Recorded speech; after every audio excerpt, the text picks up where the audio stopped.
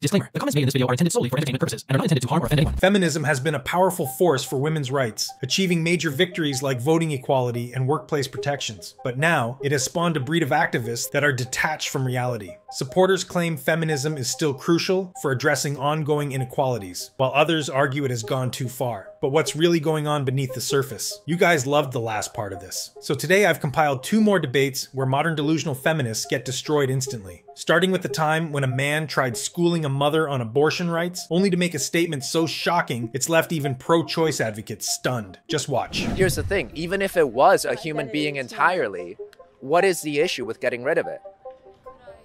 What's the issue with killing another human being? No, I'm saying what's the issue with getting rid of something that isn't contributing to any sort of economy, isn't contributing to any sort of urban population. The only thing that it's actually doing is leaching sorts of nutrients and resources.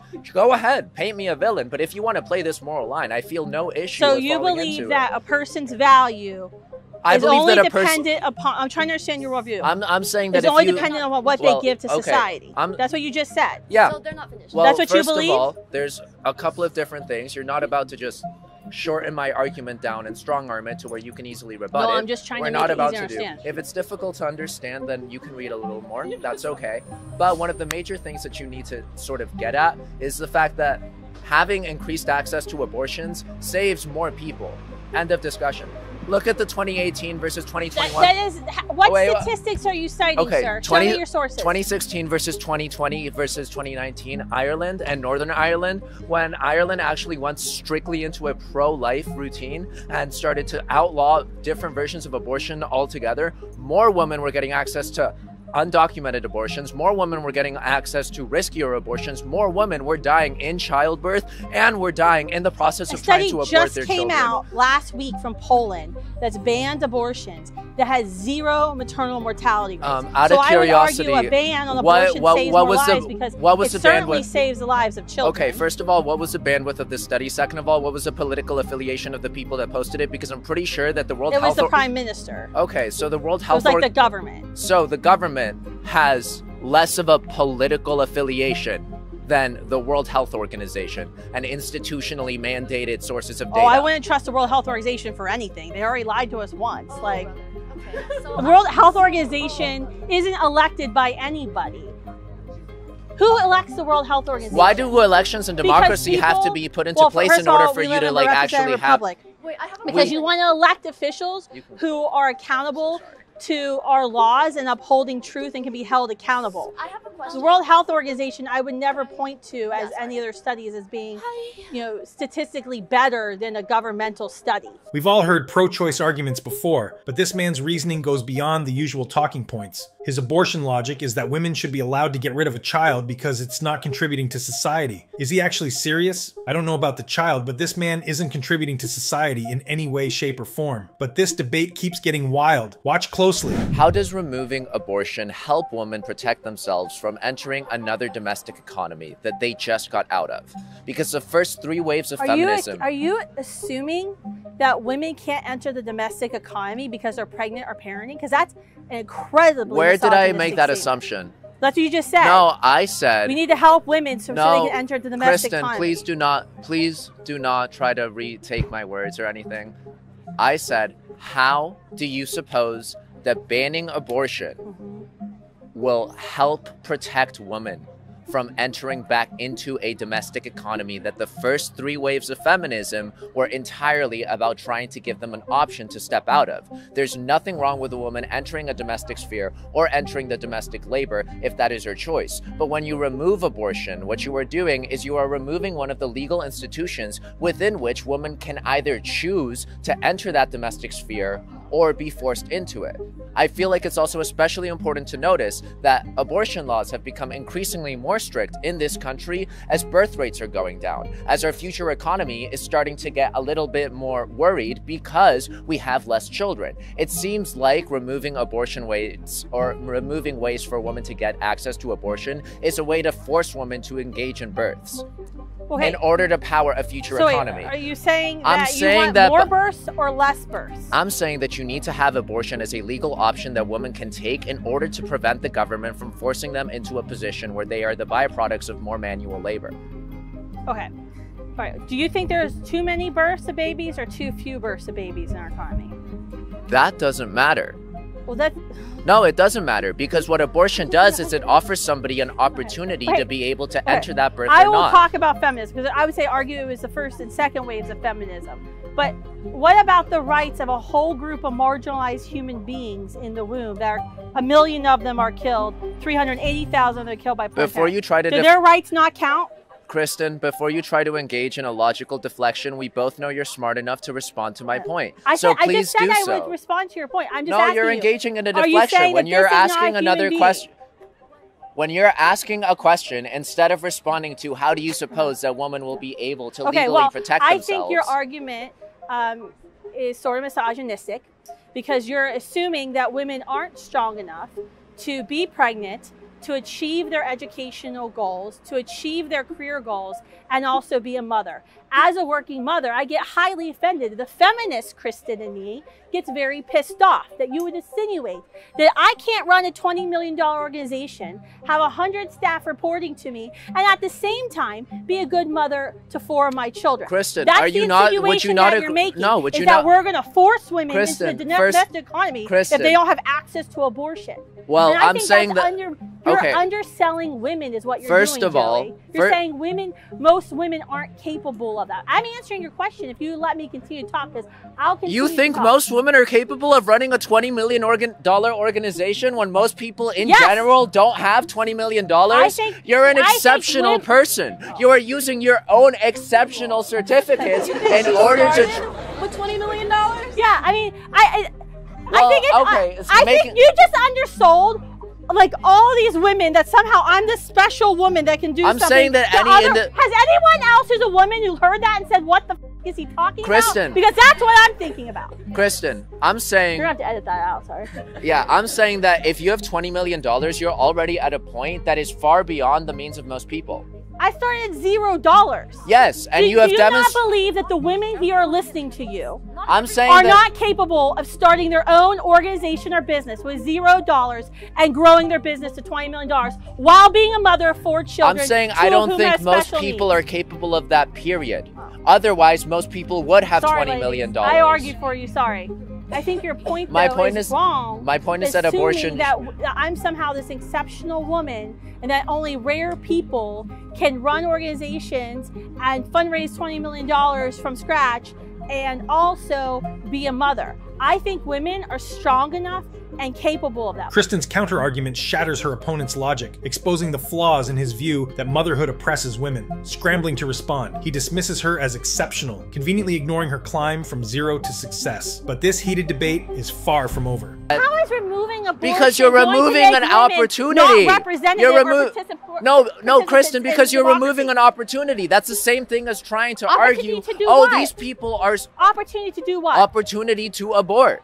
To kill another. If that's being. what you want to call it, sure. I don't give a. Yeah, I don't think anybody should have the right have the opportunity to kill an innocent human being. I think that is a moral wrong because this human being is a So member of our instead, species, you want to and at the give people no. He or she became. So she. instead, you want to give a group of people who have already been exposed to the patriarchy no legal protection from the same principle that the patriarchy has always enforced, which is forcing them into the domestic economy. By removing abortion, you are making it far easier to force women into the domestic economy.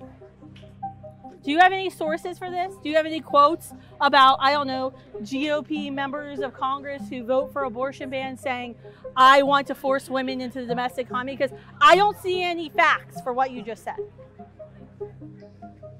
What are your facts? What about the woman in the womb?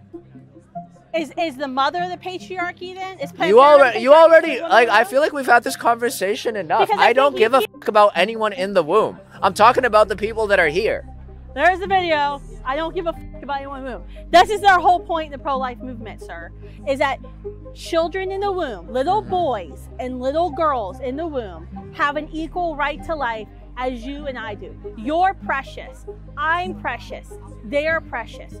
All of us are equally valuable because we're human beings. But when you remove abortion from being something those women in the womb can access in their future, then you are putting them in a society that implicitly gives them less opportunities than the little boys you're trying to protect. well, I'm trying to protect little girls too.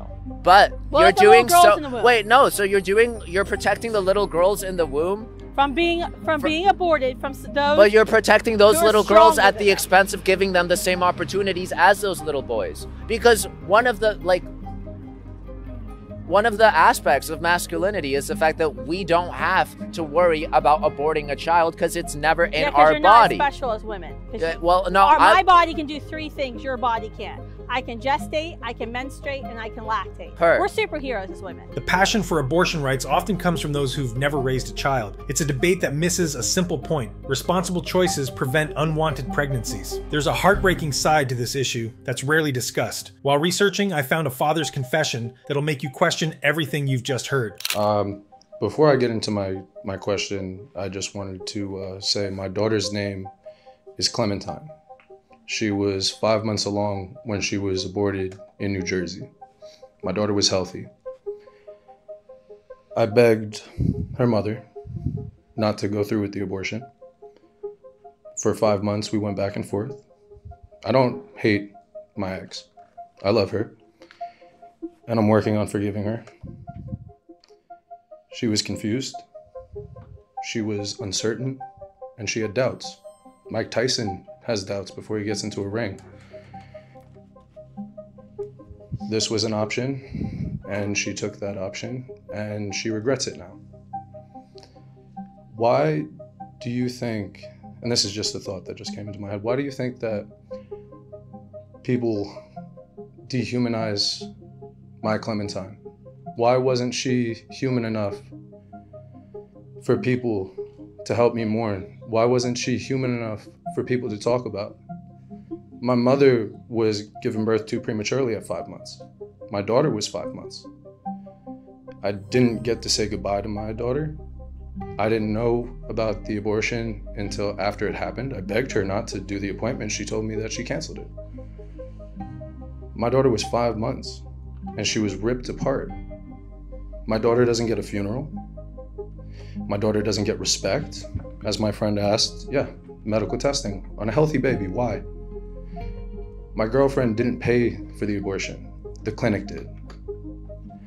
How much money did they make off of my daughter's body?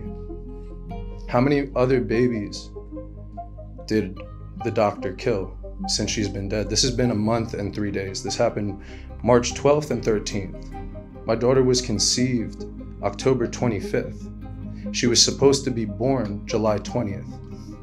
My daughter was a person. My daughter is an angel.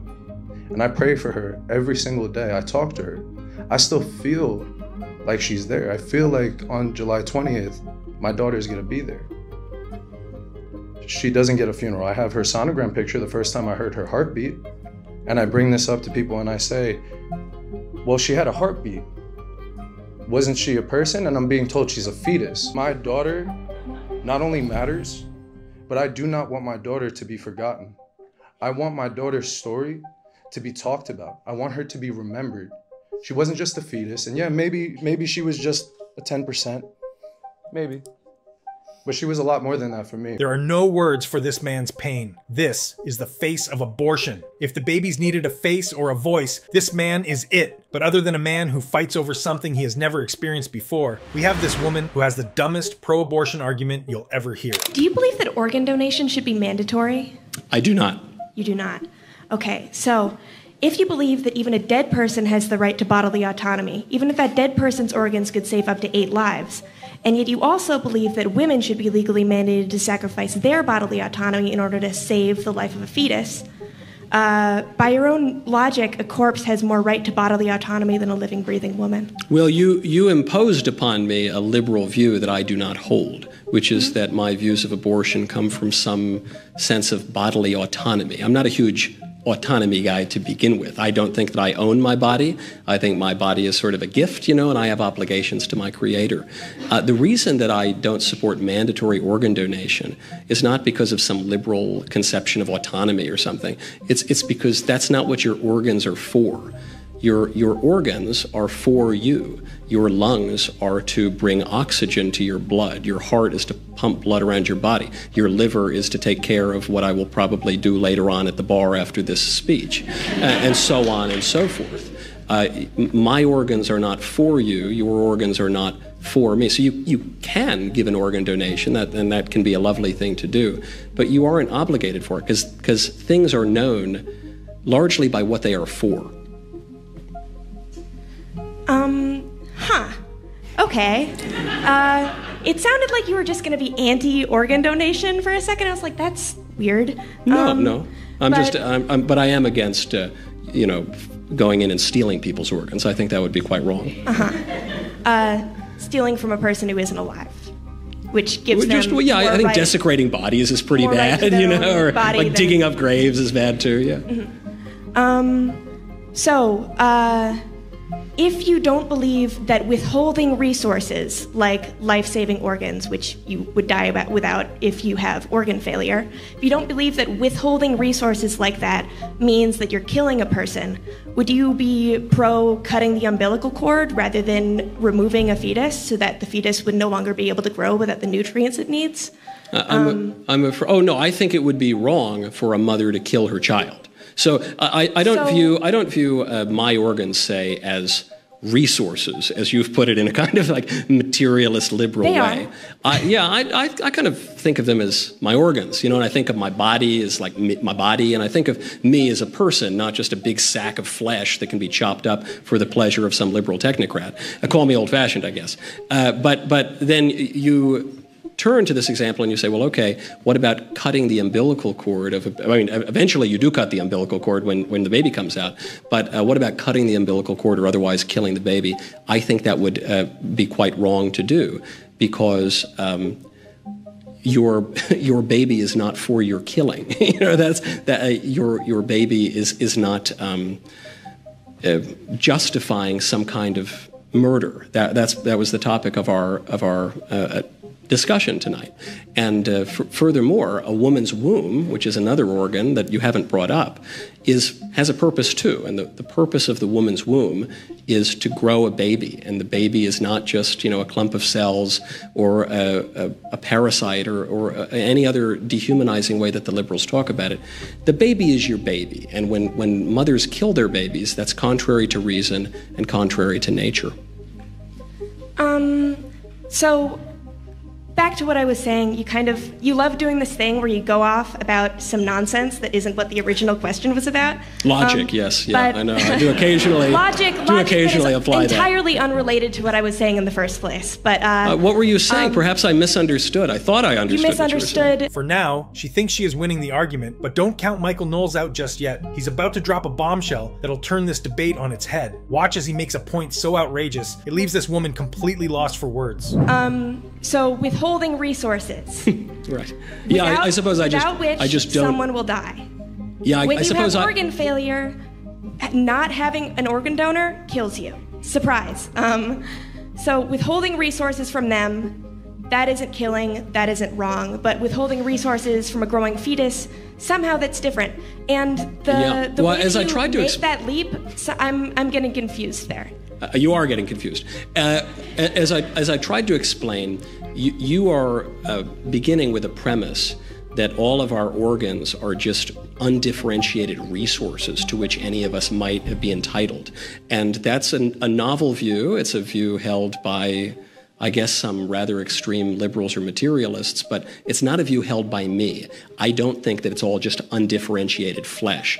I think that uh, things like organs have both form and matter. So there's the matter, there's the flesh, there's the stuff, but then there's the form, which which tells you about what that thing is. And so uh, my liver might look a lot like your liver, but they're different livers. One's mine, for instance, and one is yours. So you don't have a right to mine, and I don't have a right to yours because your liver is for you and my liver is for me. And we we all know this and we all act that way. That's why you're not coming up here and attacking me and ripping my kidneys out and selling it on a market in Wuhan or something like that. But but we pretend that we don't uh, believe these things because it helps to advance an argument which is totally indefensible and unnatural, uh, namely that we ought to kill a baby or something like that.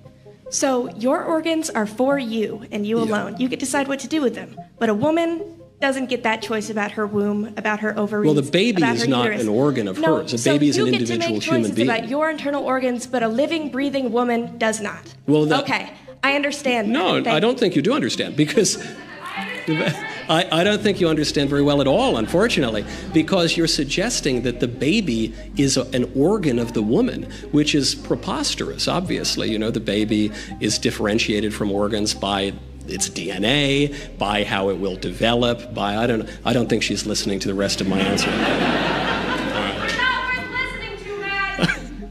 Matt!